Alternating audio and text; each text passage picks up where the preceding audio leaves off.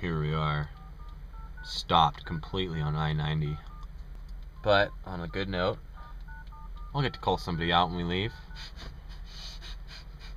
Coal projects much better now that Bill Heath heathed it out properly. Oh yeah, look at that, how far traffic to on back. For miles and miles. Yeah?